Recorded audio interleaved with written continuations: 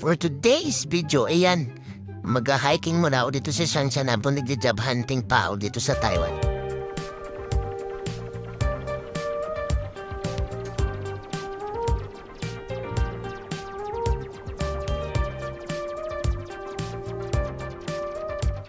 And iyan, nandito tayo sa Shanshan. Ayan, ito yung mga bundok sa Taiwan and mostly ang lilinis, ng linis ng ano nila. Tsaka may hagdan. Tsaka yung iba may trail, may parang may lubid. And yan, ito mostly marami silang hagdan. Ginagawa nila talaga para sa safety.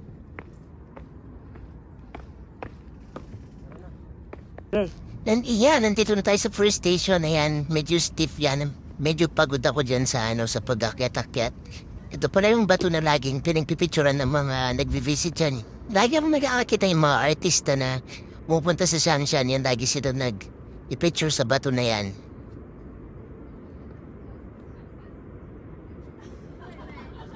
At saka meron pa pang, pang exercise dito sa bundok, sa taas ng bundok yan ha.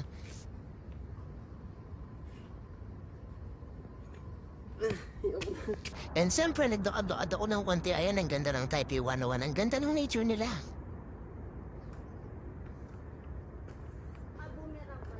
And iyan, medyo napagod ako sa pag-akyat dito sa another station. Eh, ano, nagpahinga muna ako dito sa taas.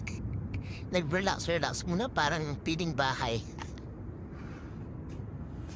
And iyan, after na magpahinga ng halos like 30 minutes, eh, magpapapagod ulit. Tapos tinawanan pa ako ng kasama ko na yan natapos ako. And ayun, shoutout pala dun sa akin taga-video yung aking kasama ditong OFW dito sa Taiwan. And shoutout sa'yo.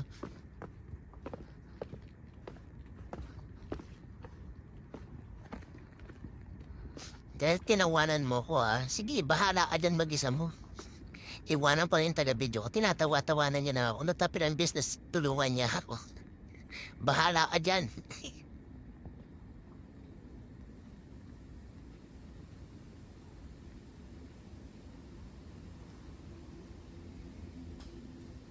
Ayan, pagkatapos ng babababa, akyatan na naman. Yan Shit. na pa. Ang Shit haba. ako dyan, ang haba kasi. After ng mahabang hagdan nito, meron na naman tali-tali para maakit sa taas.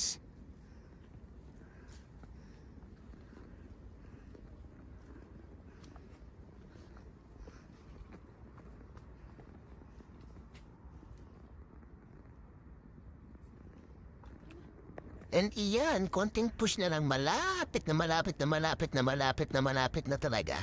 Ay malapit na tayo sa katotohanan.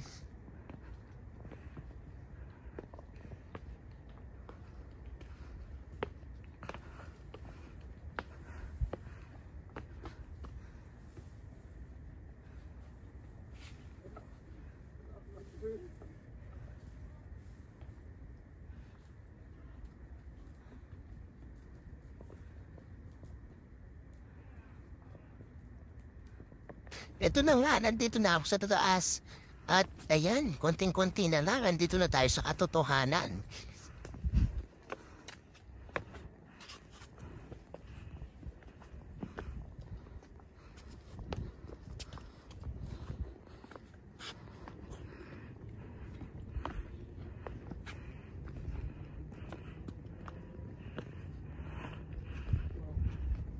Ito na nga, nandito nga ako sa taas.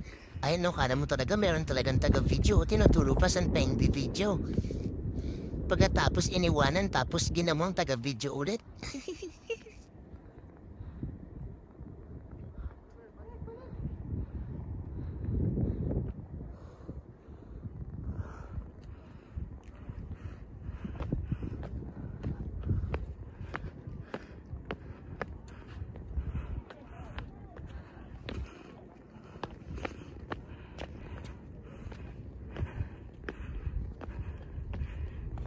Nito na nga, nandito na ako sa taas ka. mo talaga nanalo ng marathon or ano. O ayan no, tinaas-taas pa talaga yung kamay. Kala mo talaga may pinagdadaanan pero ayan, ayan. Pero su- super enjoy dito sa taas. Yan yung view, oh, yun yung pinaka-reward mo. Oh, di ba? And yan, natapos na nga na namin yung pag-hiking namin after like 3 hours bago ako maakyat pero sulit yung pagod. Eh na, paod, di ba pa nga ako? so ayan, dahil na-claim na yung price, yung nakita mong view maganda doon sa taas. So ayan, nakaroon na ulit. Back to reality ulit. Ayan.